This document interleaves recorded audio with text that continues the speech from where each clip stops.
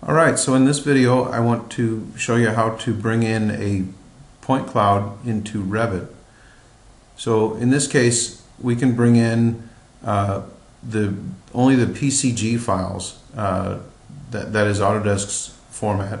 So, but what I've got, what I've got to start with is the Faro files and I can start with a Faro laser scan, FLS file, or I can start with a Faro workspace, which is an FWS file.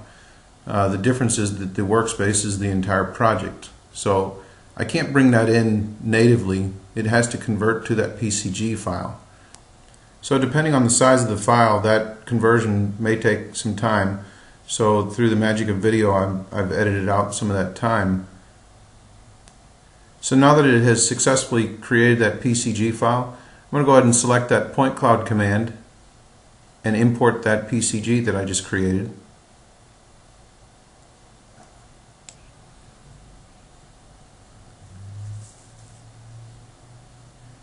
And I can zoom to the extents of the file and there's just a whole lot of data in there. What I'll do is zoom in just to show you that it's in there we can spin it around using the shift plus the middle mouse key or we can use the view cube over in the upper right hand corner of the graphic window. But the question comes, what do I do with the point cloud once it's in here? So with Revit, what I can do is set my, my floor levels. So to do this, I'm going to switch over to the um, elevation view.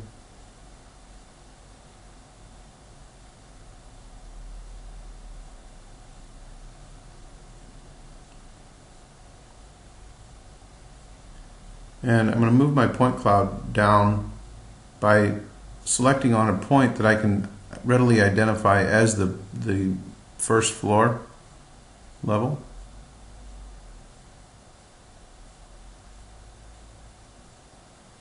And I move it down to the zero to the to the uh, first floor level.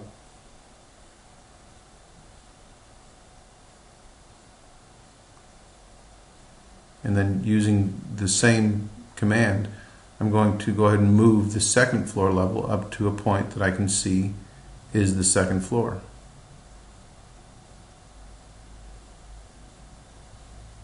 And from there I can crop out whatever else, whatever I need, and I'm left with the beginning of my uh, my model. So I can I can flip up to a uh, first floor plan, and I've got an as-built of the first floor,